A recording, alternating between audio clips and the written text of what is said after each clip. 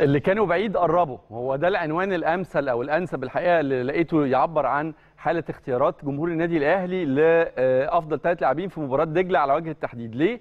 لأنه المنافسة فيها كانت لثلاث أسماء كانوا بعيد بقالهم فترة. لأسباب كتير سواء كانوا بعيد لأن هم مش في الملعب ما بياخدوش فرصة أو إصابة أو بعاد شوية من الناحية الفنية. لكن الثلاثه الحقيقة في الفترة الأخرانية مركزين ودايما حاضرين في اختيارات جمهور النادي الأهلي. في مباراة دجلة في المركز الأول باكتساح الحقيقة الاصوات حسين الشحات اللي قدم واحدة من أفضل ماتشاته في الموسم مع الأهلي في المركز الأول. أما في المركز الثاني فكان معلول علي معلول اللي كان حاضر وإن كان الحقيقة يمكن ما وفقش في أكتر من مباراة لكن دايما كان حاضر مع اختيارات جمهور النادي الأهلي. الماتش ده قدر يحسم المركز الثاني لصالحه ويضيف لرصيده نقطتين. وفي المركز الثالث كهربا. كهربا اللي برده كان حاضر في الماتشات الأخيرة لكن في الامتار الأخيرة ما قدرش إن هو يحتل مركز من المراكز الثلاثة لكن كان حاضر بشكل كبير ضمن اختيارات جمهور النادي الأهلي.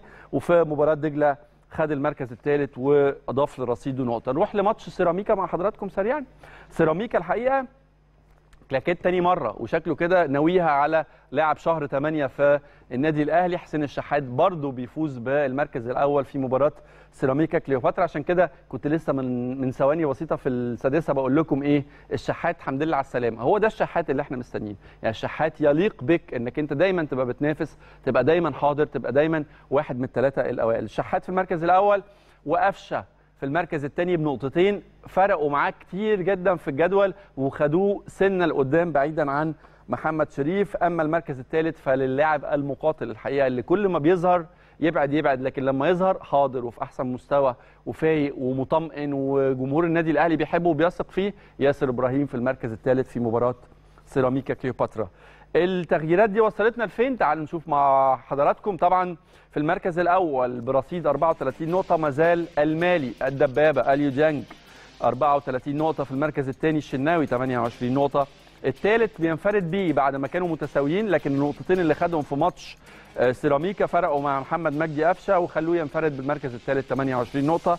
الرابع محمد شريف 26 نقطة. أكرم توفيق الصاروخ بسرعة الصاروخ. عدى الناس كلها كده واحتل الخامس برصيد 19 نقطة. بدر بنون الغايب بقى له فترة ما زال محافظ على المركز السادس ب 16 نقطة. الشحات قفزة عملاقة في المركز السابع ب 16 نقطة وفي المركز الثامن علي معلول 13 نقطة وتتوالى طبعا الأسماء في قائمة النادي الأهلي.